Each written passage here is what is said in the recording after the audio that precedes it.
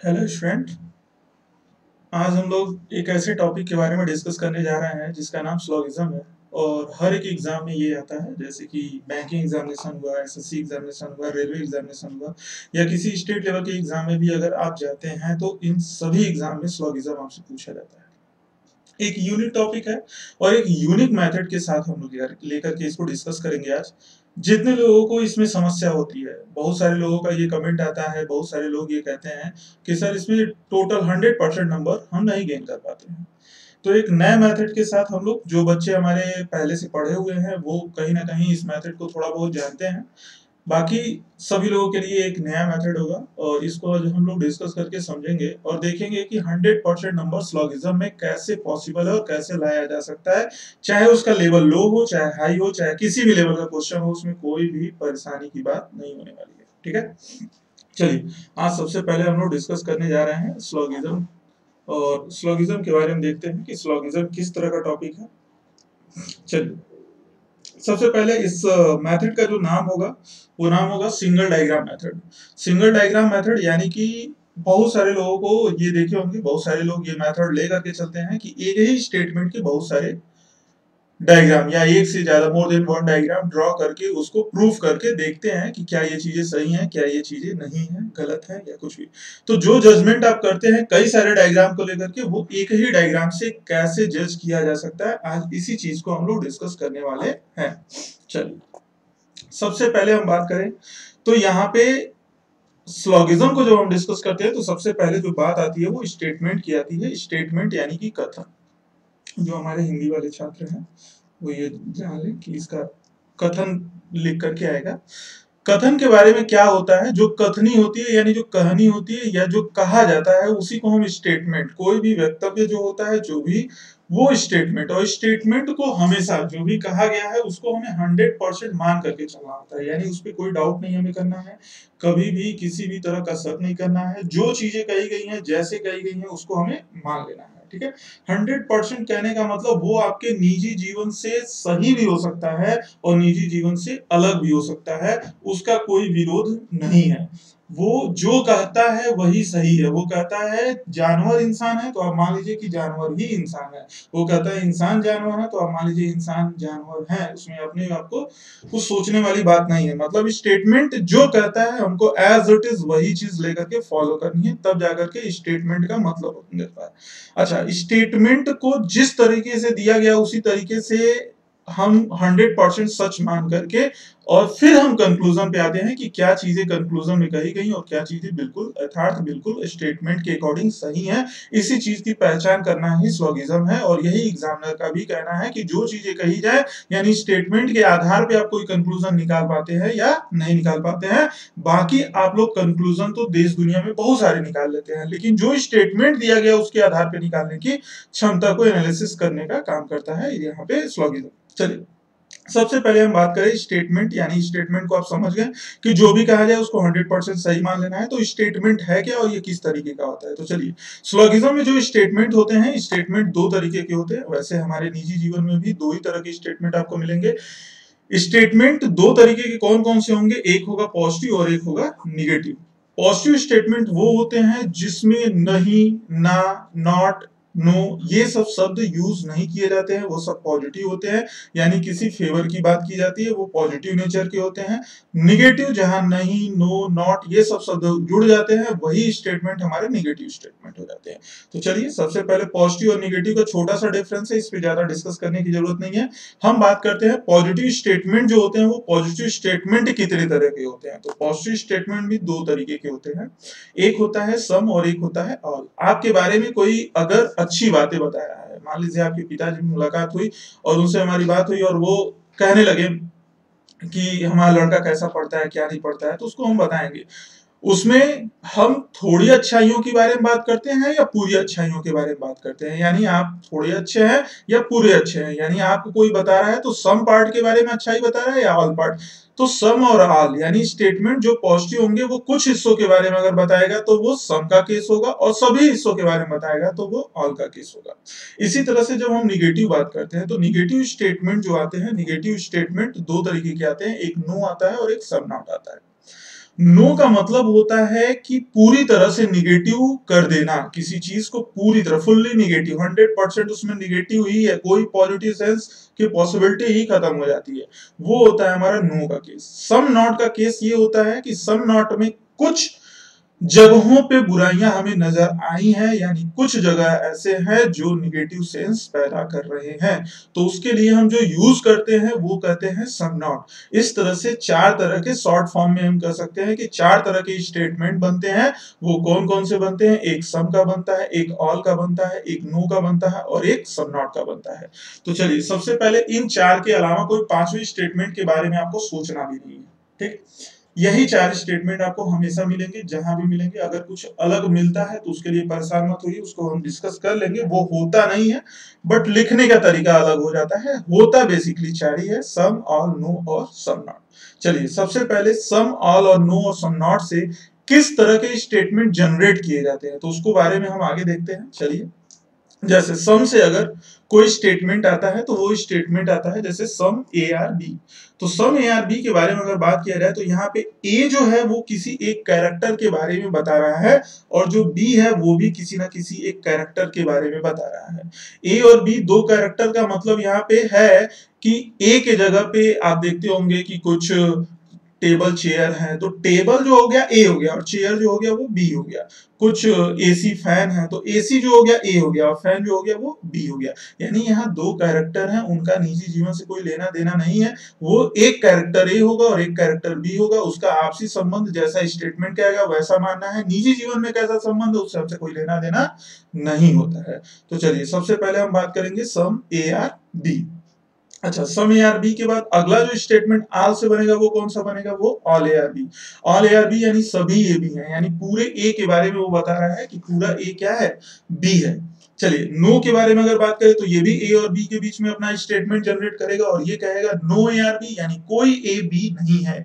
कोई A B नहीं है, इस बात को फिर से याद रखिएगा कि नो ए आर बी का मतलब होता है कि ए का कोई भी हिस्सा पॉजिटिव सेंस कभी नहीं दे सकता है। यानी पूरा full restriction full negative hundred percent negative case जहाँ होता है, वो नो ए आर बी का केस होता है। Some A are not B का केस जो होता है, वो होता है कुछ ए आर नॉट बी यानी ए के कुछ हिस्से में ऐसी बात आई है जो निगेटिव है, जिसकी यथार्थ पूर्णता पता चला है। यानी हंड्रेड परसेंट ये बात सत्य है कि सम ए यानी ए का कुछ हिस्सा कहीं ना कहीं निगेटिव है बी से। तो ये हो गया सम या नॉट बी आपको इसी चार फॉर्म में स्टेटमेंट मिलेंगे। चार फॉर्म कौन कौन से होंगे? Some A are B all A are B no A are B some A are not B इसके अलावा कोई चार के अलावा पांचवे के बारे में आपको सोचना भी नहीं है और इन्हीं चार के अकॉर्डिंग आपका पूरा स्लोगिज्म खत्म होने वाला है। पूरा स्लोगिज्म जो होगा, इन्हीं चार स्टेटमेंट से खत्म होगा और इसी से शुरू भी होता है। बाकी इसके कुछ बाहर सोचने की ज़रूरत नहीं है। इसी को बढ़िया से समझ लेना है। आपको स्लोगिज्म की सारी प्रॉब्लम दूर हो जाएगी। चलिए, आगे बढ़ते हैं हम लोग। जैसा कि हमने बोला single diagram method single diagram method का मतलब यहाँ पे ये होता है कि जो ये स्टेटमेंट लिखे होते हैं, क्योंकि जब क्वेश्चन दिए जाएँगे अभी आगे क्वेश्चन भी कराएँगे तो उसमें आपको पता चलेगा क्वेश्चन का नेचर क्या होता है। तो जो क्वेश्चन दिए जाएँगे, उस क्वेश्चन में some A are B all A are B no A are B some A are not B इस तरह के कुछ स्टेटमेंट दिए जाएँगे। तो इस स्टेटमेंट को हमें एक डायग्राम में ड्रॉ करना होता है, जिसका सिर्फ़ एक ही डायग्राम हम बनाएँगे, दूसरा कोई डायग्राम बनाने की आवश्यकता हमें नहीं पड़ेगी। जैसे कि अगर बात करें तो पहले वाले केस में सम ए आर बी का जो डायग्राम आप देख रहे हैं, उसमें एक सर्कल है जिसके अंदर ए लिखा हुआ है यहाँ पे, यानी फ़र्स्ट वाला सर्कल जो है वो ए को रिप्रेजेंट कर रहा है। और सेकेंड वाला सर्कल जो है वो बी को रिप्रेजेंट कर रहा है। चलिए, कोई बात नहीं, लेकिन एक चीज़ और देख रहे होंगे कि ए के सर्कल का कुछ पार्ट बी को शेयर हो रहा है और बी का सर्कल कुछ ए को शेयर हो रहा है, यानी बी ए के हिस्से को कवर कर रहा है, या ये कह सकते हैं कि ए का कुछ हिस्सा बी में दिख रहा है। तो इस तरह से जो कुछ हिस्सा आप दिखा रहे हैं, जो ब्लू पॉट से आप देख रहे हैं यहाँ पे, ये चीज़ें इसको आप कह सकते हैं।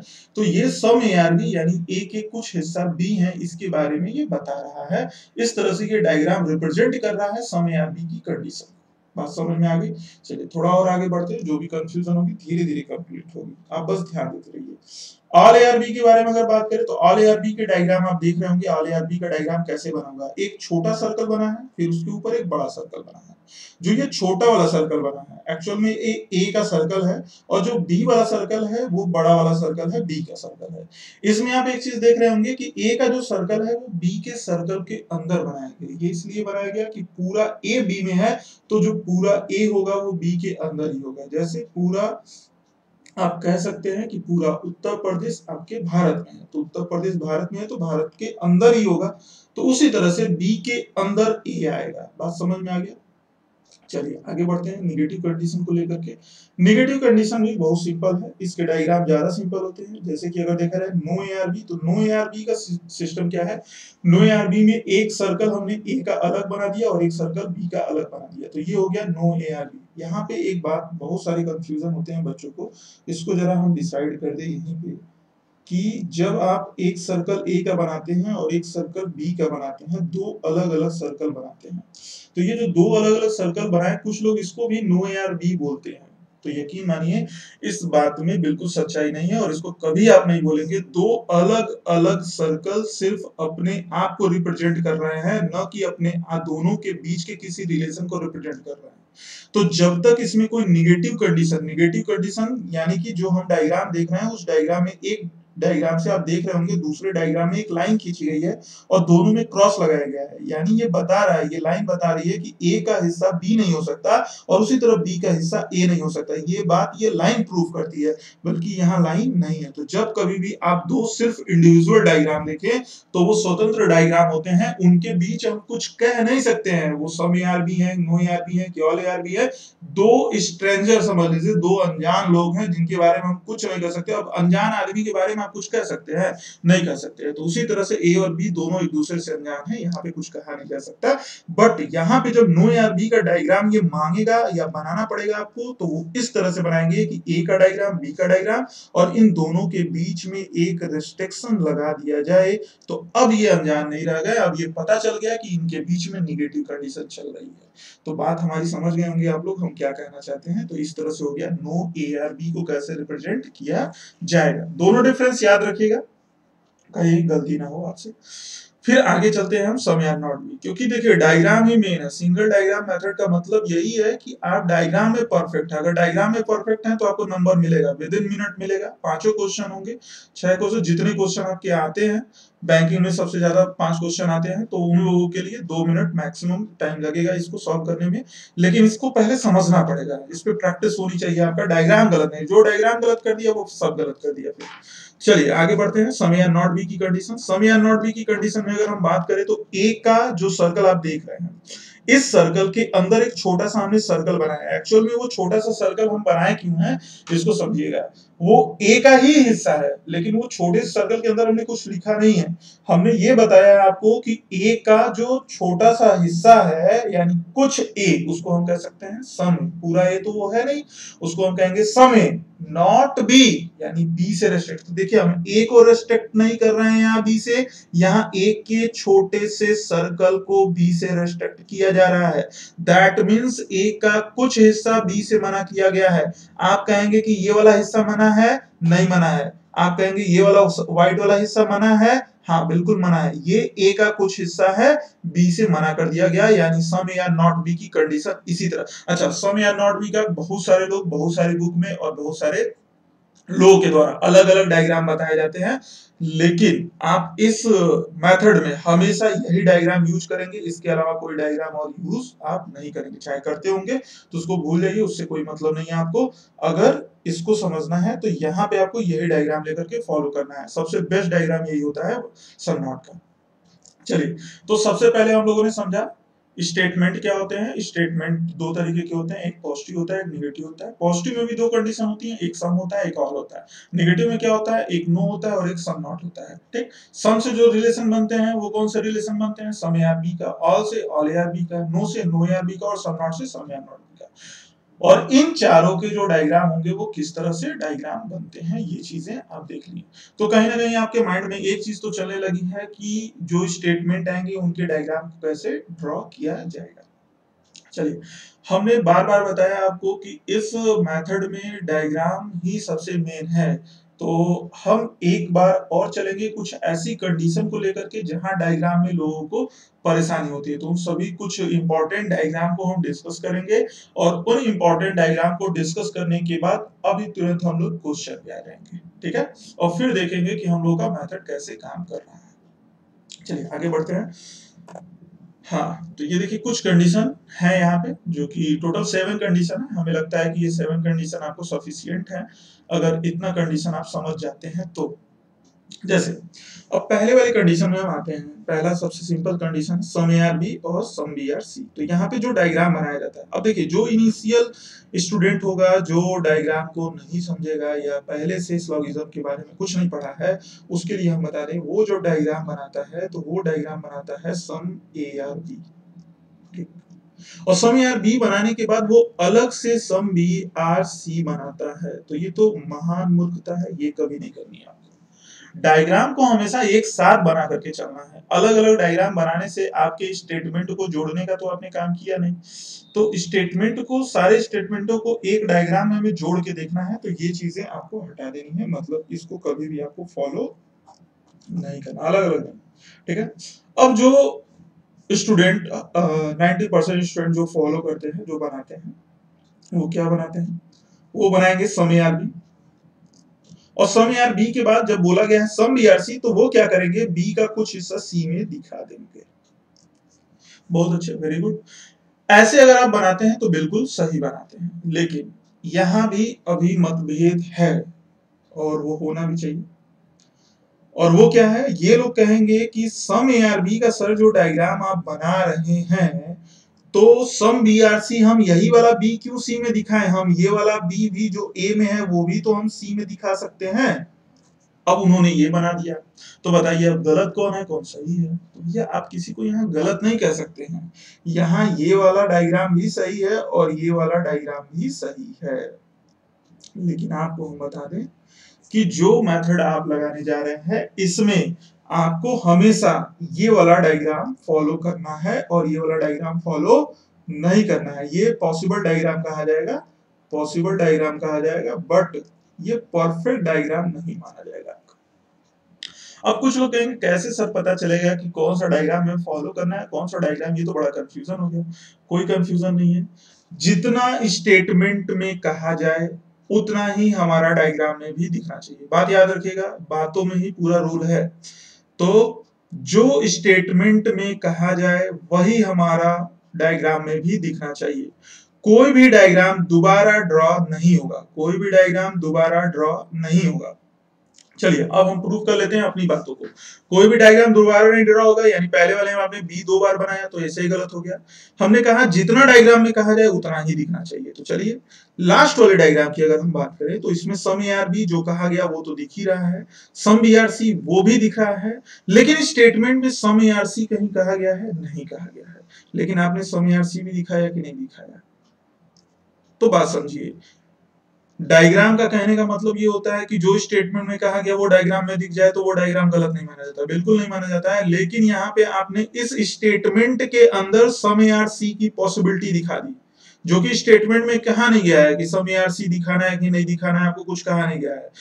तो आप कुछ भी कर सकते जब कुछ नहीं कहा गया तो आप क्या करेंगे? उसके बारे में कोई गाइडलाइन नहीं है तो आप कुछ भी करें आप, आपका डिसीज़न है। लेकिन यहाँ पे जब नहीं कहा गया है तो हम नहीं बनाएँगे। हम अच्छे बच्चों वाला काम करेंगे। जो कहा गया है जितना कहा गया, हम उतना ही करेंगे। उससे ज़्यादा डायग्राम में हमें दिखाने की ज़रूरत नहीं है। यानी उसने समय बी बोला तो हमने ए का बी हिस्सा दिखाया। उसने बी का सी बोला तो बी का कौन सा सी बोला? ये ए वाला तो बोला नहीं है। यानी कि बी का सी तब हम यही दिखाएँगे तो बी का हमने सी दिखा दिया। यानी ए से हम अटैच नहीं कराएँगे। बात समझ में आ गई? यानी पॉसिबल डायग्राम हमको लेके नहीं चलना है सिंगल डायग्राम यानी वो डायग्राम लेके चलना है, जितने स्टेटमेंट में कहा गया है, सिर्फ़ उतना ही हमें डायग्राम में लेकर के चलना है। ऐसे अगर चलेंगे, तब जाकर के सिंगल डायग्राम को हम फॉलो कर पाएँगे। बात समझ में आएगी सिंगल डायग्राम क्या है? सिंगल डायग्राम में हम उतना ही डायग्राम में दिखाते हैं, जितना स्टेटमेंट में कहा जाए उससे ना ज़्यादा दिखाते हैं, ना उससे कम दिखाते हैं। बात समझ में आ गई? क्लियर है सभी लोगों को? चलिए, अगले वाले में थोड़ा बहुत कंफ्यूजन होगा, अगले वाले में क्लियर करते हैं। तो ये पहली कंडीशन थी। अब दूसरा स्टेटमेंट हमारा क्या है? All A are B some B are C तो सब लोगों ने बनाया होगा, कहीं ना कहीं। आप बनाते भी रहिए साथ में। All A are B some B are C तो all A are B some B are C में अगर देखा जाए तो आपने जो डायग्राम बनाया, वो कैसे बनाया? एक ऑल ए आर बी ये तो पहले ही अभी अभी डिस्कस किया हम पिछली स्लाइड में। तो ऑल ए आर बी आपने डिस्कस कर लिया। अब पिछला, यहाँ पे जो सीख आपको मिली, ये पहले वाले में जो सीख मिली, उस सीख के अकॉर्डिंग लोगों ने क्या किया कि ए का हिस्सा छोड़ दिया, क्योंकि इसमें सम बी आर सी बोला है तो ए को हम नहीं कवर करेंगे, लेकिन बी को कवर करना पड़ेगा। थोड़ा सा हिस्सा हम बी का लेकर के सी को ड्रॉ कर देंगे, यानी सम बी आर सी बन गया। तो यहाँ पे देखिए, जो स्टेटमेंट में कहा गया आल ए आर बी हमने आल ए आर बी दिखाया उसने कहा, सम बी आर सी हमने सम बी आर सी दिखाया। उसने ए और सी का रिलेशन हमको नहीं बताया, हमने नहीं दिखाया। बात समझ में आ गई सबको? चलिए, बात समझ में आ गई तो आगे बढ़ते हैं। चलिए थर्ड वाले स्टेटमेंट में आते हैं। थर्ड वाला स्टेटमेंट क्या है? All A are B all C are B एक बार ट्राई करिए आप लोग। ज़रूर ट्राई करिए। जब गलतियाँ करेंगे, तभी सीखेंगे। रीजनिंग है। रीजनिंग में जब तक आप नहीं करेंगे, तब तक कोई सिखा नहीं सकता है। आपको खुद सीखना है। गाइड करने वाले हम हैं, लेकिन आपको थोड़ी गलतियाँ करेंगे। तो आपको खुद ही समझ में आया अच्छा ये गलतियाँ हम करते हैं। तो वो हमेशा याद रहती है, ठीक है? गलतियों से इंसान सीखता है, ठीक है? गलती, गलत ही करिए, लेकिन करिए ज़रूर। चलिए, बात करते हैं all A are B all C are B अब all A are B all C are B बनाने के चक्कर में कुछ लोगों ने महान महान काम किए होंगे। आइए देख लेते हैं।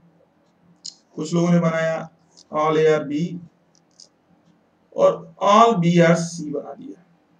ये हालाँकि आपको समझना है कि ये गलत है। क्यों गलत है? बताने की ज़रूरत तो है नहीं, क्योंकि ऑल सी आर बी बोला गया है ऑल बी आर सी नहीं बोला गया। तो कुछ लोग ध्यान से पढ़ते भी नहीं है एग्ज़ाम में। उसकी वजह से भी ये गलतियाँ होती हैं। और जब एग्ज़ाम में गलतियाँ हो जाती हैं तो फिर आते हैं, कहते हैं, सर नंबर नहीं आया स्कोर नहीं हो पाया रीजनिंग में। तो ये बात है स्लॉगिज्म हमारा गलत हो जा रहा है। तो क्यों गलत हो रहा है? बस ध्यान से पढ़िए पहले। स्टेटमेंट क्या? ऑल ए आर बी और ऑल सी आर बी है। यानी कि आप क्या बनाएँगे? ऑल ए आर बी ठीक?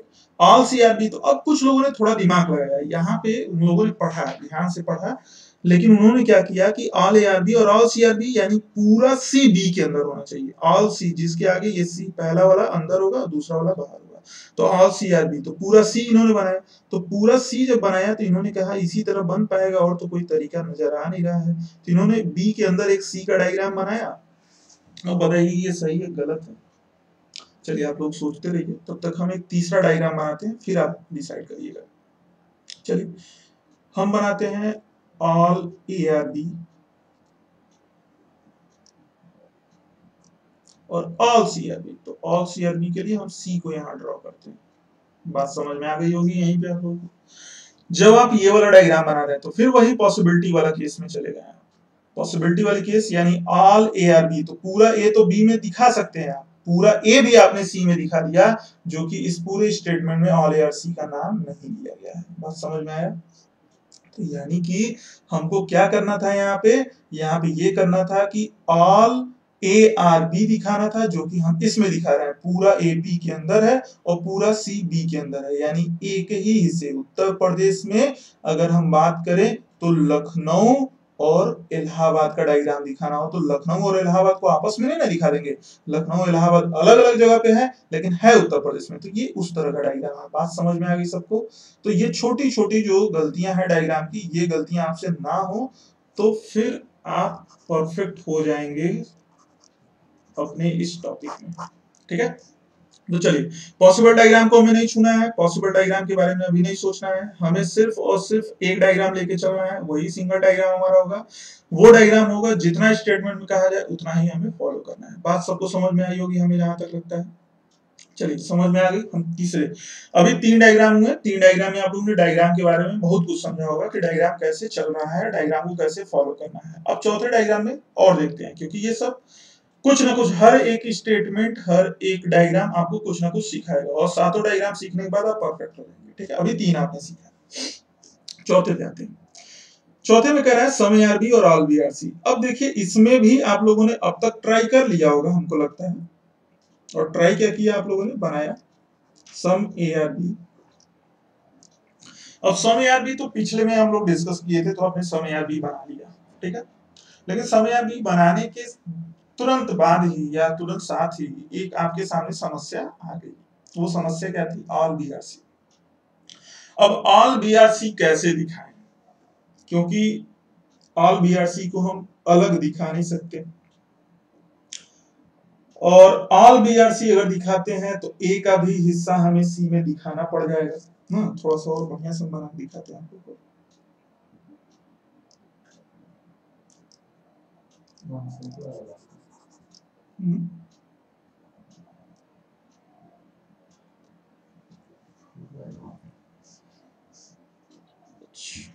चलिए तो इस डायग्राम को यहाँ पे आप लोग नहीं देख पाएँगे तो इस डायग्राम को हम यहीं पे दिखाते हैं। चाहे रुकिए, हम इस पूरा इरेज कर देते हैं, ठीक है?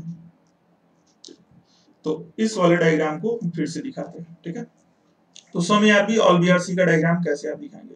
Some A are B all B are C का डायग्राम आपने सम ए आर बी बनाया होगा और सम ए आर बी बनाने के साथ ही आपको प्रॉब्लम जनरेट होगी।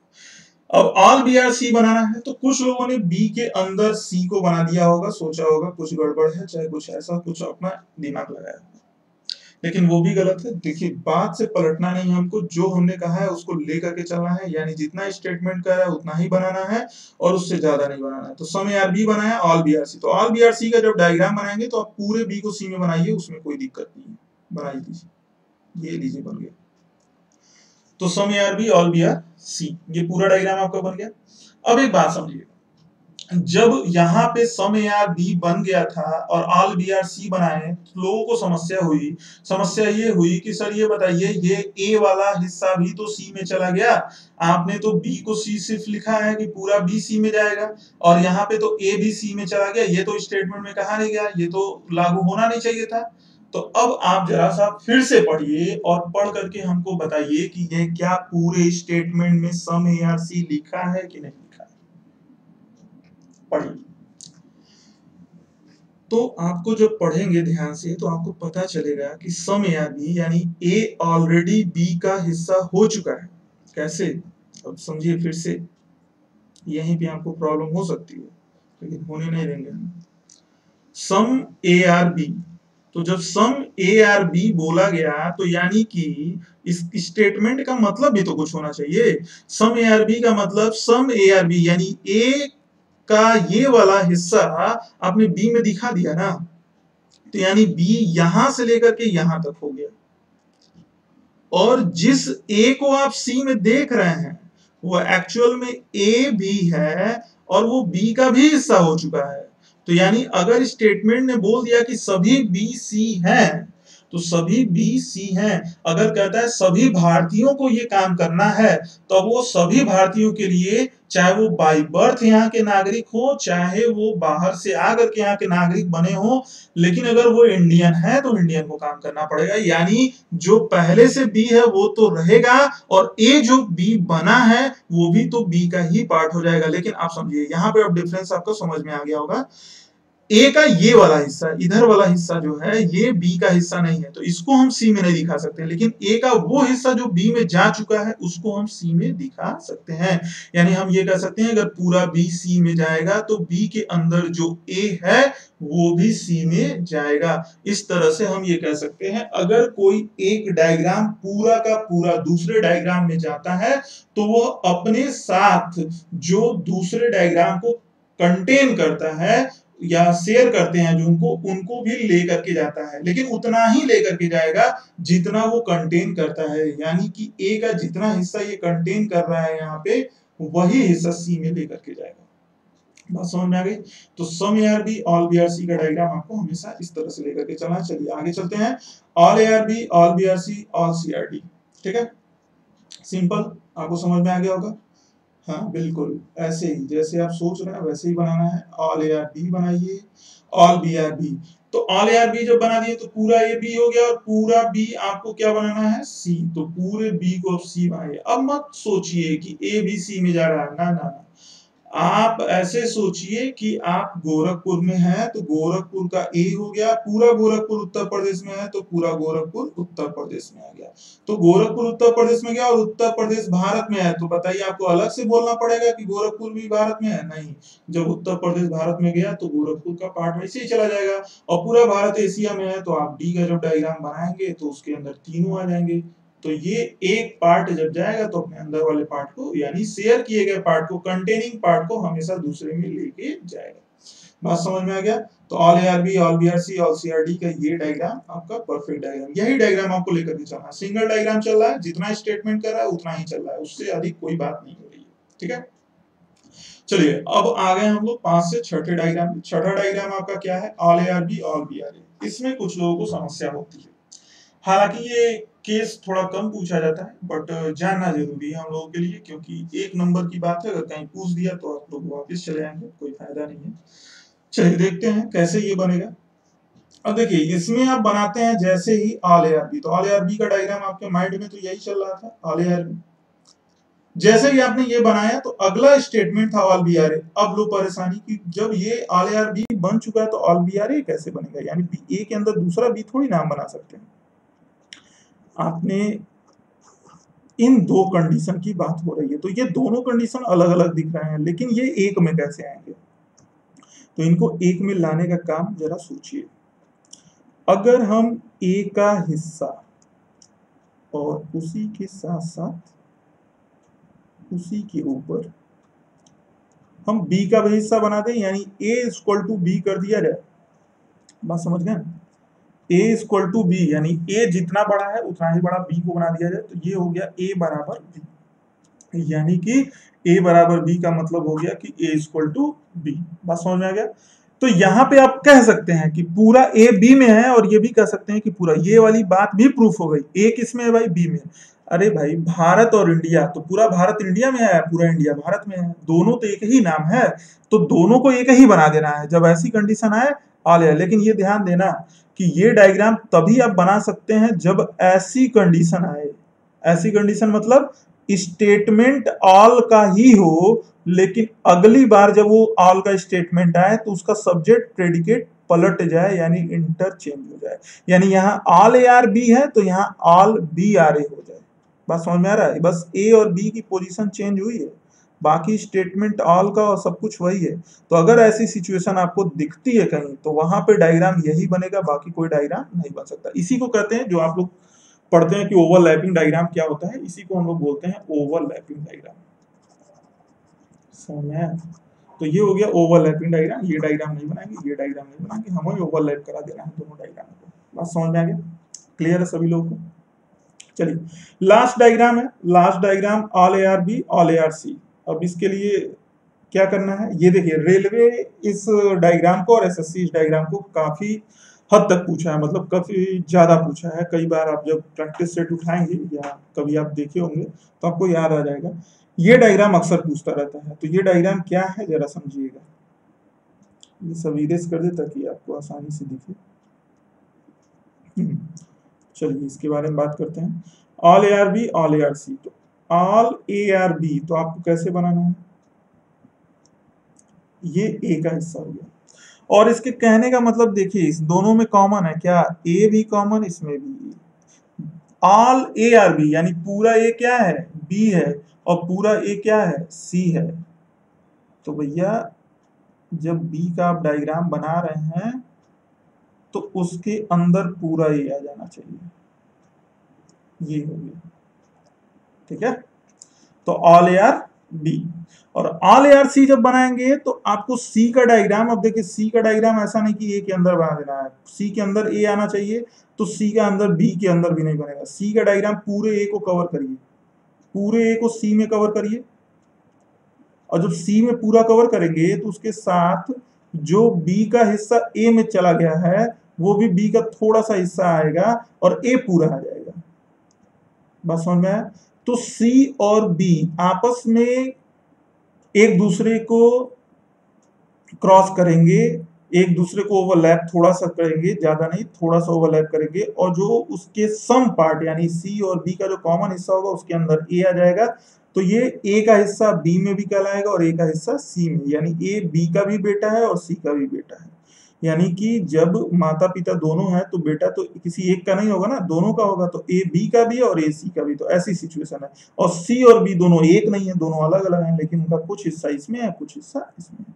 तो उसी तरह से, यानी ये सिचुएशन ऐसे बनती है कि अगर कोई दो हिस्से आपस में एक दूसरे को कोरिलेट करते हैं या ओवरलैप करते हैं थोड़ा सा तो एक दूसरे को शेयर करते हैं। तो उसमें कुछ हिस्सा जो होगा, वो दोनों का कॉमन हिस्सा हो जाएगा। अब उतने के बीच में, यानी इस जो हिस्सा आपको दिख रहा है हाँ इसमें इतने के बीच में अगर कोई चीज़ आती है तो वो किसकी होगी? वो बी की भी होगी और सी की होगी कितना? पूरा पूरा बी का होगा, पूरा पूरा सी का होगा। तो यानी दो सी और बी के कॉमन हिस्से में ए आ गया तो वो ऑल ए आर बी भी कहलाएगा ऑल ए आर सी भी कहलाएगा। इसको याद रखिएगा, यहाँ पे आप कंफ्यूजन ज़्यादा करते हैं। चलिए क्लियर हो गया यहाँ पे। तो यहाँ पे कहीं ना कहीं हम देखें कि सात डायग्राम है और इन सातों डायग्राम को बढ़िया से आप देख लीजिए। जो भी डाउट होगा, आप कमेंट कर सकते हैं, बता सकते हैं। उसको क्लियर कर दिया जाएगा आपका डाउट ठीक है? चलिए तो ये डायग्राम आपको सबसे बड़ी बात थी। यहाँ पे डायग्राम को डिस्कस करना है। यहाँ पे आप डायग्राम डिस्कस करने के बाद काफ़ी हद तक समझ गए होंगे कि डायग्राम कैसे बनाने हैं, क्या करने हैं। आगे आप जब क्वेश्चन करेंगे तो आपको सिंगल डायग्राम बनाने में कोई दिक्कत नहीं होनी चाहिए, ठीक है? चलिए अब हम लोगों ने स्टेटमेंट डिस्कस किया स्टेटमेंट के टाइप डिस्कस किए स्टेटमेंट के सारे टाइप को डिस्कस करने के बाद उनके डायग्राम को भी डिस्कस कर लिया। है कहीं ना कहीं हम 50 परसेंट यानी रेडी हैं क्वेश्चन को सॉल्व करने के लिए। अब क्वेश्चन के बस रूल हमको समझने हैं। जैसे ही आपको रूल समझ में आ गया, आप समझिए कि पारंगत हो जाएँगे पूरी तरह से स्लोगिज्म में, ठीक है? तो आइए सबसे पहले हम लोग अब क्वेश्चन पे ही चलते हैं। अब हम लोगों का ये ओवरऑल जो सेशन था, इसके बारे में जो हम बता रहे थे स्लॉगिज्म के बारे में, ये सब आप लोगों को बता दिए हैं। इसको बढ़िया से समझ लीजिए। अब क्वेश्चन देखिए कितना इजी वे में सॉल्व होगा। आपको ज़्यादा टाइम नहीं लगेगा। अब बस सॉल्व होता जाएगा। बस ये चीज़ें याद रखिएगा। चलिए आगे बढ़ते हैं। अब क्वेश्चन सॉल्व करने से पहले आपको बता दें कि जब भी ये इस तरह के स्लोगिज्म के क्वेश्चन आते हैं तो आप सही और गलत में आंसर तो देते हैं, लेकिन सही यानी कि ट्रू और गलत यानी कि फॉल्स लेकिन स्टेटमेंट में जो क्वेश्चन जब आप रीड करेंगे, उनके इंस्ट्रक्शन तो ये पूछते हैं कि कौन कौन सा कंक्लूजन कंक्लूजन यानी कि निष्कर्ष, ये होता है निष्कर्ष, ठीक है? तो ये जो निष्कर्ष होते हैं, वो निष्कर्ष कौन कौन से निष्कर्ष आपके स्टेटमेंट को फॉलो कर रहे हैं और कौन कौन से स्टेटमेंट आपके निष्कर्ष को फॉलो नहीं कर रहे हैं? तो ट्रू का मतलब होता है, यहाँ जब भी हम ट्रू बोलेंगे या सही बोलेंगे तो उसका मतलब आप समझिएगा फॉलो द स्टेटमेंट यानी वो फॉलो कर रहा है। और जब आपको फॉल्स बोलेंगे तो आप समझ जाइएगा कि वहाँ पे फॉर डज नॉट फॉलो यानी फॉलो नहीं कर रहा है। बात क्लियर होगी सबको? छोटी सी बात थी। चलिए स्टेटमेंट पे आते हैं। स्टेटमेंट क्या है भाई? तो स्टेटमेंट है सम ए आर डायग्राम ऐसे ही बनेगा, देखिएगा। सम बी आर सी ये डायग्राम आपने बनाया भी था सम बी आर सी तो डायग्राम इसी तरह से बनाना है, हमें सिंगल डायग्राम यही डायग्राम लेकर के चलना है। अब इस डायग्राम में जरा देखिए। सम सी आर बी है सम बी आर ए है ऑल ए आर बी है ऑल सी आर ए है ऑल सी आर बी है, और सम सी आर यानी टोटल छह कंक्लूजन है। और छह कंक्लूजन में छह सही हो सकते हैं। छह गलत हो सकते हैं। कोई दो सही हो सकता है, कोई तीन, या कोई भी सही हो सकता है। जो आपको ऐसा नहीं कि छह क्वेश्चन है तो इसमें से एक सही होगा, बाकी गलत होंगे। ऐसा कुछ मत सोचिएगा। कुछ बच्चे तो ऐसा ही सोचने लगते हैं तो ऐसा मत सोचिएगा। यहाँ पे सबसे कॉमन चीज़ आपको हम दिखाते हैं। कॉमन चीज़ ये है कि यहाँ पे या तो कंक्लूजन सम से है, या तो कंक्लूजन ऑल से है। बाकी नो या सम नॉट से नहीं है। नो या सम नॉट से नहीं है। तो इस कंक्लूजन को हम पॉजिटिव नेचर का कंक्लूजन कहेंगे। यहाँ पे हमने इसीलिए लिख भी दिया है पॉजिटिव नेचर का कंक्लूजन कहेंगे, यानी ये जो कंक्लूजन है वो पॉजिटिव नेचर में है, ठीक है? और पॉजिटिव नेचर के जब भी कंक्लूजन आपको मिलेंगे तो उसे कैसे सॉल्व करना है? आप लोग जैसे भी सॉल्व करते होंगे, वो सब तरीके सही हैं, लेकिन आज हम लोग सिर्फ़ एक लाइन एक लाइन याद रखेंगे, एक बात याद रखेंगे, और अगर स्लॉगिज्म में कंक्लूजन पॉजिटिव नेचर का है तो उसे सॉल्व करने के लिए सिर्फ़ एक लाइन ही काफ़ी होगी, दूसरी लाइन आपको याद करने की ज़रूरत नहीं पड़ेगी। वो लाइन क्या है कि कंक्लूजन में जो चीज़ लिखा गया है, वो सीधे सीधे आप स्टेटमेंट में देखिए। किसमें देखेंगे? स्टेटमेंट स्टेटमेंट के डायग्राम में देखिए आप। स्टेटमेंट में नहीं स्टेटमेंट के डायग्राम में देखिए। और जो चीज़ आपको डायग्राम में दिख रही है, सिर्फ़ उसी चीज़ को सही करना है।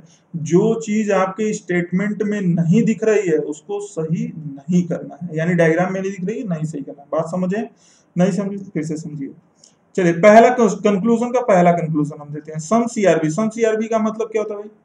सम सीआरबी का मतलब होता है, कुछ सी क्या है? बी है। कुछ सी बी है।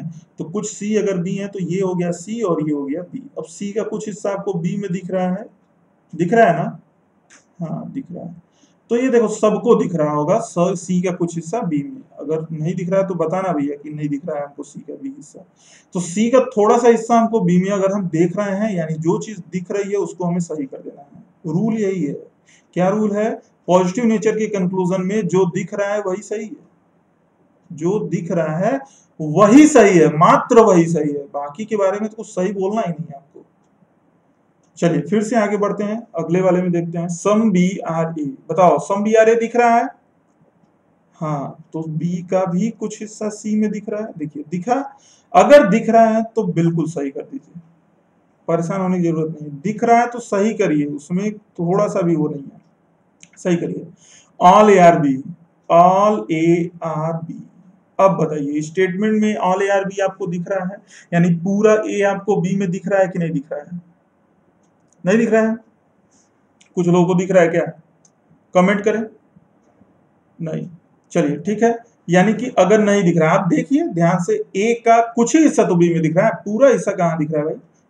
नहीं दिखना चाहिए, ठीक है? तो अगर नहीं दिख रहा है तो उसमें कोई मरुवत नहीं होनी चाहिए ऑल एयर बी गलत। गलत का मतलब फाल्स फाल्स का मतलब डज नॉट फॉलो ठीक है? तो यानी कि जो चीज़ नहीं दिख रहा है, उसको गलत करिए। हाँ उसमें कोई दया भावना की चीज़ नहीं आपके अंदर आनी चाहिए कि नहीं नहीं, हम गलत नहीं कर सकते हैं, ठीक है? गलत नहीं कर रहे हैं, सही कर रहे हैं वो, लेकिन इसको गलत आंसर ये तो गलत ही बोलेंगे ना। चलिए, चौथे पे आते हैं। ऑल सी आर ए क्या आपको पूरा सी ए में दिख रहा है? पूरा सी ए में दिख रहा है? सी और ए में बहुत दूरी है भाई। सी अलग बात कर रहा है ए अलग बात कर रहा है। ए का सी से कोई डायरेक्ट रिलेशन नहीं है। एक दूसरे से ये दोनों अनजान है। इनको कोई लेना देना नहीं है एक दूसरे से। तो इनके बीच कोई रिलेशन भी नहीं है, जिनका आपस में कोई लेना देना नहीं है। रिलेशन कैसे हो सकता भाई? ये भी गलत हो गया। ऑल सी आर बी क्या पूरा सी बी में है? क्या पूरा सी बी में है? तो आप देखेंगे सी का कुछ ही हिस्सा तो बी में दिखाई दे रहा है भाई। सी का कुछ हिस्सा ही तो बी में दिखा। तो अगर सी का कुछ हिस्सा बी में दिखा देन ऑल नहीं दिखा। ऑल नहीं दिखा तो जो चीज़ नहीं दिखा, वो गलत करिए जो लिखा है वो दिख गया तो सही। जैसे ऊपर के दोनों दिखे तो हम सही कर दिए। लास्ट देखिए सम C are A some C are ए बोलिए, सी का कुछ हिस्सा ए में दिख रहा है? फिर वही बात सी और ए में कोई डायरेक्ट रिलेशन नहीं है, एक दूसरे से कोई लेना देना नहीं है, ना सम दिख रहा है, ना ऑल दिख रहा है, कोई हिस्सा नहीं दिख रहा है, यानी सी से ए का कोई भी रिलेशन गलत हो जाएगा। बात समझ में आया? तो अब इसके बाद आपको चार ऑप्शन या पाँच ऑप्शन आपको दिए जाएँगे अलग से, उसमें कहीं ना कहीं एक ऑप्शन आपका होगा, जो ऑप्शन में लिखा होगा only first and second follow अब चार ऑप्शन में से, पाँच ऑप्शन में से आप खोजिएगा, किस ऑप्शन पे ये चीज़ लिखी है, जिस ऑप्शन में ये चीज़ लिखी होगी, उसको क्लिक कर दीजिएगा, क्योंकि यहाँ पहला और दूसरा ही फॉलो कर रहा है, बाकी फॉलो नहीं कर रहे हैं। बात समझ में आई सबको? क्लियर है? आगे बढ़ा जाए। चलिए, ये पहला क्वेश्चन था। अगर आपको रूल समझ में आ गया होगा तो अगले क्वेश्चन में थोड़ा तेज़ी दिखाइएगा और बताइएगा कि आंसर क्या होगा। हमें लगता है कि अगले क्वेश्चन में हमें बताने की ज़रूरत नहीं पड़ेगी, आप खुद ही सॉल्व कर लेंगे। चलिए, सॉल्व करिए। हम्म दस क्वेश्चन है, बहुत बड़ा क्वेश्चन आ गया। चलिए सॉल्व करिए, बहुत अच्छे। ठीक है। चलिए डिस्कस करते हैं साथ में। All A are B diagram आप यही बनाएँगे all A are all B are C आपने डायग्राम ये बनाया होगा ऑल बी आर सी और फिर लास्ट वाला diagram all C are D बन गया डायग्राम अब ये ऑल ए आर बी यानी पूरा ए बी में है, पूरा बी सी में है, पूरा सी डी में है। डायग्राम बन गया। अब एक बात बताइए आपको। Some A are D, some A are D. पहला कंक्लूजन पहले कंक्लूजन में ही कुछ लोगों को डाउट हो जाएगा यहाँ पे। ठीक है? चलिए बताइए, सही या गलत? तो सम ए आर डी के बारे में अगर बात करें तो ए का हिस्सा डी में दिख तो रहा है, लेकिन पूरा दिख रहा है। अब कुछ लोग कहेंगे, नहीं नहीं ए का हिस्सा तो बी में दिख रहा है। तो भैया, ये भी ध्यान दो ए का हिस्सा बी में ही नहीं दिखना चाहिए आपको। ए का हिस्सा बी में भी है सी में भी है डी में भी है, तीनों में है, ठीक है? और बात ए और डी की हो रही है तो जब दो लोग, बड़े लोग बात करते हैं तो छोटे लोग बीच में नहीं आते हैं, समझ में आया? तो यहाँ पे ए और डी की बात हो रही है तो बी और सी को भूल जाओ, इसको निगलेक्ट करो कोई मतलब नहीं है इनका। ए पूरा का पूरा डी के अंदर दिख रहा है ना ऑल ए आर डी तो बताइए ऑल ए आर डी में सम ए आर डी सही करेंगे, गलत करेंगे? तो याद रखना, इसको सही करेंगे। अब समस्या कुछ लोगों को हुई होगी कि जब ऑल ए आर डी है तो उसको सम ए आर डी क्यों कहा जाएगा? तो याद रखना ऑल ए आर डी में जहाँ भी ऑल का रिलेशन होगा, उस रिलेशन से सम हमेशा निकलेगा। यानी सम हमेशा करेक्ट होगा। अरे भाई, पूरा का पूरा ए ही डी का है तो कुछ ए किसी और का हो जाएगा। वो भी तो डी का ही हिस्सा कहलाएगा। तो बात समझने में पूरा का पूरा गोरखपुर अगर उत्तर प्रदेश के अंदर है तो गोरखपुर का कुछ हिस्सा, जैसे मान लीजिए तारामंडल है तो तारामंडल आपका यूपी का हिस्सा नहीं होगा, वो भी तो होगा। यानी ए अगर पूरा का पूरा डी में जा रहा है तो ए के अंदर अगर थोड़ी सी चीज़ हम ले लेते हैं, यानी कुछ ए की बात करते हैं तो वो कुछ ए भी डी का ही हिस्सा होगा। इसको कहना बिल्कुल गलत नहीं है, आप गलत नहीं कह रहे हैं। ठीक है? बस ये है कि कुछ सच्चाई बता रहे हैं, पूरी सच्चाई आप नहीं बता रहे हैं तो ये गलत नहीं होता है। आप ये कहते हैं कि ए का कुछ हिस्सा डी में नहीं है, तब गलत हो जाते हैं। लेकिन अगर पूरा ए डी बोलते हैं तो भी आप सही हैं, और कुछ ए डी बोलते हैं तो भी बात सही है। बात समझ में आया? जैसे आप यहाँ पे कहीं दिया होगा। हाँ देखिए ऑल ए आर डी यहाँ पे ऑल ए आर डी दिया तो भी सही और जहाँ ऑल होता है, वहाँ सम होता है। तो हमेशा याद रखिएगा, स्लॉगिज्म में ये कंफ्यूजन अगर किसी को बनती है तो आज याद कर लीजिएगा कि जहाँ ऑल का रिलेशन क्लियर है, यानी जहाँ ऑल सही है, वहाँ सम डेफिनेटली सही है, उसको कोई गलत नहीं कर सकता है। जब पूरे बॉटल ही पानी से भरा हुआ है तो उस बॉटल का आधा हिस्सा भी भरा हुआ है, पूरा हिस्सा भी भरा हुआ है, सब भरा। बिना आधा भरे पूरा नहीं भर सकता है। यानी बिना सम हुए कोई चीज़ ऑल नहीं हो सकती है। बात समझिए इस बात को। तो जहाँ ऑल का रिलेशन होगा, वहाँ सम का रिलेशन डेफिनेटली होगा। उसमें कोई डाउट नहीं रखना है। ये बात याद रखिए, कोई डाउट नहीं रखना है। हमेशा यही लेकर के आपको चलना है। ऑल में हमेशा सम, कुछ बच्चे हमेशा इस बात का कंफ्यूजन रखते हैं कि ऑल को सम कैसे बोला जा रहा है। तो भैया, जहाँ ऑल होता है, वहाँ सम ऑटोमेटिक होता है। उसमें कोई सोचने वाली बात नहीं है। बात समझ में आ गई? तो अब जहाँ भी ऑल देखेंगे, वहाँ सम ज़रूर सही करेंगे। क्लियर चलिए आगे बढ़ते हैं। सम डी आर ए बताइए सम डी आर ए को सही किया जाएगा या गलत किया जाएगा? तो समझिए बात को। अब इतना बड़ा डी है। इस डी का कुछ ना कुछ हिस्सा तो सी ने कवर किया है। क्यों किया है भाई? क्योंकि डी के अंदर ही तो सी है और सी के अंदर बी है।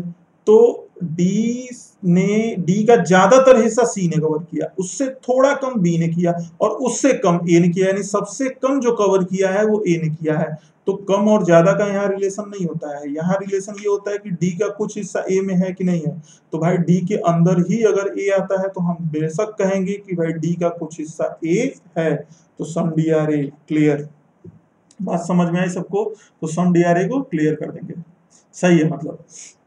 आइए, अगले पे चलते हैं। समय आर भी बताइए समय आर भी सही है या गलत है? समय आर भी सही है या गलत है? चलिए, समझ में आ गया होगा। वही रिलेशन हाँ वही रिलेशन है कि पूरा ए तो बी में दिख ही रहा है तो अगर पूरा दिख रहा है तो कुछ वाला बात सही होता है। यानी जहाँ ऑल सही होता है, वहाँ सम सही होता है। क्लियर सभी लोगों को? अगले पे आते हैं। चौथा कंक्लूजन क्या है? Some B are D some B are D का मतलब क्या होगा सही होगा गलत? समझ, इससे समझाने की ज़रूरत नहीं आपको समझ में आना चाहिए। बी का पूरा हिस्सा डी के अंदर दिख रहा है ना तो अगर बी का पूरा हिस्सा डी में दिख रहा है तो ज़ाहिर सी बात है बी का जो कुछ हिस्सा होगा, वो भी डी में जहाँ आल है, वहाँ सम है, इसमें तो कोई डाउट है ही नहीं। बात समझ में आया? अब एक बात और यहाँ पे आपको हम बता दें। जब इस तरह का रिलेशन इस तरह का डायग्राम दिखे तो इस तरह के डायग्राम में हमेशा जो भी सम के कंक्लूजन होंगे, वो सही होंगे, गलत कभी नहीं हो सकते। क्यों नहीं गलत हो सकते? क्योंकि जब इस तरह का डायग्राम आप देखते हैं तो या तो आउटर डायग्राम से इनर डायग्राम को कंपेयर किया जाता है, या इनर डायग्राम से आउटर डायग्राम को कंपेयर किया जाता है। जब बाहर से अंदर वाले डायग्राम को कंपेयर करेंगे तो बाहर के अंदर वाले डायग्राम को, जो तो बाहर वाला तो बड़ा है और अंदर वाला छोटा है तो जो छोटा है वो बाहर वाले के कुछ हिस्से को तो कवर करेगा ही करेगा, यानी सम का केस तो बनेगा। कुछ हिस्से को कवर करना है, यानी सम का केस बनेगा। लेकिन अंदर से बाहर का केस जब आएगा तो अंदर वाला तो छोटा है और बाहर वाला बड़ा है, यानी कि ये जो केस है, ये इनर डायग्राम इनर डायग्राम हमेशा आउटर डायग्राम के अंदर ही होगा, यानी ऑल का केस बनेगा और हमने बताया आपको जहाँ जहाँ ऑल बनेगा, वहाँ वहाँ सम हमेशा बनेगा। तो यानी चाहे बाहर से अंदर वाला डायग्राम कंपेयर हो, चाहे अंदर से बाहर वाला डायग्राम दोनों ही केस में क्या सही होगा तो सम सही होगा। बोलो क्लियर सभी लोग को? तो ये बात समझनी है यहाँ पे कि सम का केस इस तरह के डायग्राम में हमेशा सही होता है, ठीक है? ये थोड़ी सी शॉर्ट ट्रिक अगर कभी ऐसा दिखे तो आप लोग आगे बढ़ सकते हैं, बाकी रूल कभी मत भूलिए रूल तो हमेशा लगेगा, ठीक है? डायग्राम में जो चीज़ दिख रहा है ऑल दिख रहा है तो वहाँ सम भी आपको दिख रहा है, ऐसा नहीं आप कह सकते हैं कि सम नहीं दिख रहा है तो जो दिख रहा है वो सही है। चलिए आगे बढ़ते हैं। ऑल ए आर डी के बाद ऑल बी आर डी क्या पूरा बी डी में दिख रहा है? तो बिल्कुल दिख रहा है बी का पूरा का पूरा हिस्सा डी में दिख रहा है, बिल्कुल सही है। ऑल ए आर सी पूरा ए सी में दिख रहा है। हाँ भैया, पूरा ए बी में सी में डी में, तीनों में है तो ए सी में है तो ये भी बात सही हो गई तो सातवां भी सही हो गया। ऑल डी आर ए क्या पूरा डी ए में दिख रहा है? अब बताइए, पूरा डी ए में दिख रहा है? तो आप कहेंगे, नहीं सर, ये तो नहीं हो रहा है, क्योंकि डी तो बड़ा वाला डायग्राम है और ये छोटा वाला डायग्राम है। तो ए पूरा डी के अंदर है, लेकिन डी पूरा ए के अंदर नहीं है। तो इस सिचुएशन में जब हम डी से ए को कंपेयर करेंगे तो ऑल नहीं कह सकते हैं। और यहाँ पे ये वाला कंक्लूजन आपका गलत हो जाएगा। बात समझ में आया? अब देखा जाए नाइन नंबर नाइन नंबर क्या कह रहा है? ऑल सी आर ए क्या पूरा सी ए में जा रहा है? देखिए जरा। तो सी का ये दूसरा वाला डायग्राम बड़े वाले में से दूसरा सेकंड लास्ट वाला डायग्राम ये सी का डायग्राम ए के अंदर है क्या? नहीं ए सी के अंदर है, लेकिन सी ए के अंदर नहीं। तो ये चीज़ भी हमको नहीं दिखाई दी। तो ये भी गलत हो गया और लास्ट वाला ऑल सी आर बी आप बताइए बी सी के अंदर है सी बी के अंदर है? तो भैया बी सी के अंदर है सी बी के अंदर नहीं है। तो ये भी गलत हो जाएगा। यानी यहाँ पे एट नाइन टेन ये तीनों गलत हैं। फ़र्स्ट अब जहाँ भी ऑप्शन में फ़र्स्ट सेकंड हालाँकि इतना बड़ा हमने दे दिया क्वेश्चन इतना आता नहीं है, लेकिन आपको समझने के लिए ताकि एक ही स्टेटमेंट से सारे कंडीशन आपको समझ में तो इसका आंसर हो जाएगा first second third fourth fifth six and seven follow बात समझ में आ गई? क्लियर हो गया? चलिए, दूसरे में आप समझ चुके हैं। ये भी आपका पॉजिटिव नेचर का था तो पॉजिटिव नेचर में हमेशा याद रखिए क्या करना है आपको। पॉजिटिव नेचर में हमेशा यही करना है आपको।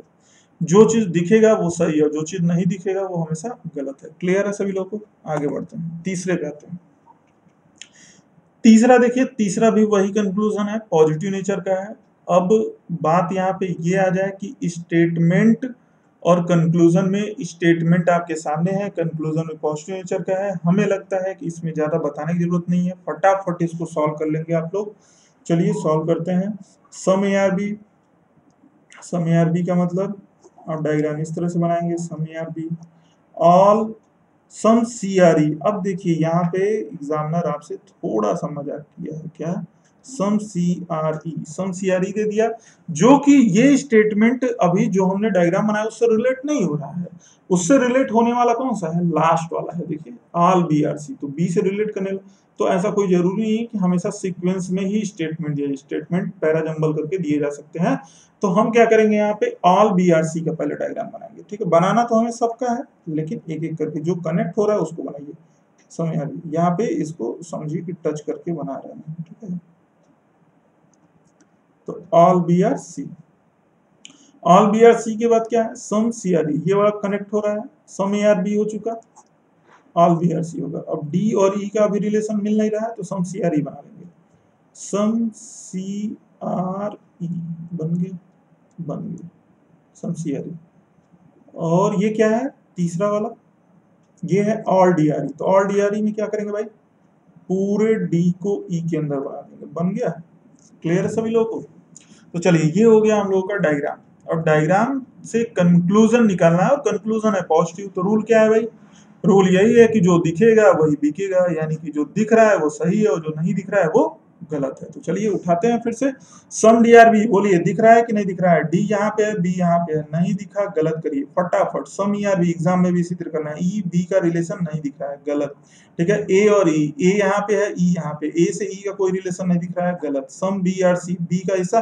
बी पूरा का पूरा सी में है जहाँ पूरा होता है वहाँ कुछ सही होता है तो सही कर देंगे। ऑल ए आर सी पूरा ए सी में दिख रहा है? नहीं, कुछ ए सी में दिख रहा है। ये बात भी झूठ है, ये भी गलत हो गया। ऑल बी आर डी पूरा बी डी में है तो भाई अब बी और डी का तो कोई रिलेशन ही नहीं है, ये भी गलत। ऑल ई आर डी क्या पूरा ई e डी में है? नहीं, पूरा डी ई में है तो ये भी गलत हो जाएगा। यानी सिर्फ़ और सिर्फ़ एक ही सही होगा ओनली फोर्थ फॉलो बस समझ में इस तरह से स्पीड से सॉल्व करना है तो इस तरह से थोड़ा और स्पीड में आप सॉल्व करेंगे। ठीक है? तो इस तरह से प्रैक्टिस करिए। और प्रैक्टिस करने के बाद से इस तरह के क्वेश्चन को सॉल्व करते जाइए, ठीक है? तो आज हम लोगों ने क्या समझा कि स्लॉगिज्म में स्टेटमेंट क्या होते हैं? स्टेटमेंट से फिर हम कैसे डायग्राम बनाते हैं? वन डायग्राम मेथड में आपने ये भी देखा कि किस तरह से पॉजिटिव कंक्लूजन को सॉल्व करते हैं। अब जितने भी पॉजिटिव नेचर के कंक्लूजन को सॉल्व करिए, कभी आप गलत नहीं होंगे, ठीक है? निगेटिव कंडीशन और इसके साथ इसकी पॉसिबिलिटी अगले क्लास में हम लोग डिस्कस करेंगे, ठीक है? चलिए, तब तक के लिए धन्यवाद। Thank you thank you so much